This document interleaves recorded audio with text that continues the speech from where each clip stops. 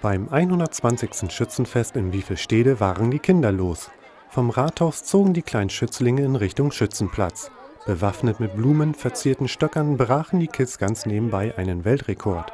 So viele geblümte Kinder hat noch kein anderes Dorf bei einem Schützenfest gesehen. 373 an der Zahl passten so kaum auf das Foto. Nun werden wir dieses Ergebnis nach London mailen und dann sehen wir mal, ob das ein anerkannter Rekord ist für das Guinness-Buch der Rekorde. Für die Kinder war der Rekord eher Nebensache. Sie scherten sich nicht um das Guinness-Buch, sondern vergnügten sich lieber in den Fahrgeschäften oder anderen Aktionen. Die konnten bei den Kleinen am meisten punkten.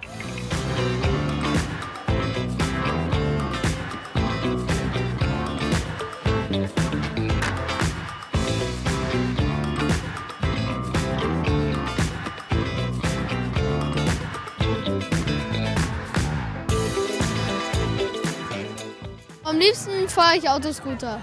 Die Karussells? Ja, bei mir auch die Karussells. Auch wenn hier und da geschossen wurde, mit dem Schützenfest der Erwachsenen hatte das Kinderschützenfest nicht viel gemeinsam. Die Seifenblasen von Paule Witzig waren auch viel interessanter als ein Papagoi.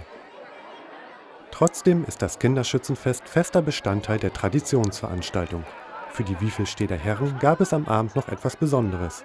Die Wahl zu Schützenliesel 2013. Das ist nämlich eine Sympathiewahl, wo alle Männer wählen dürfen. Es gibt hier also keine Bikini-Runde. Jeder versucht sich so gut wie möglich zu verkaufen und bekommt dann, wenn, er, wenn sie tatsächlich dann Schützenliesel wird, ein Geschenk über 1000 Euro, dazu ein SLK von einem Autohaus aus Oldenburg. Und die zweite und dritte Hofdame, und die erste und die zweite Hofdame erhalten jeweils 300 Euro und ebenfalls ein Peugeot für ein Wochenende. Spaß hat es wohl jeden an diesem Tag gemacht und der eine oder andere wird wohl später auch eine Schützenuniform tragen wollen.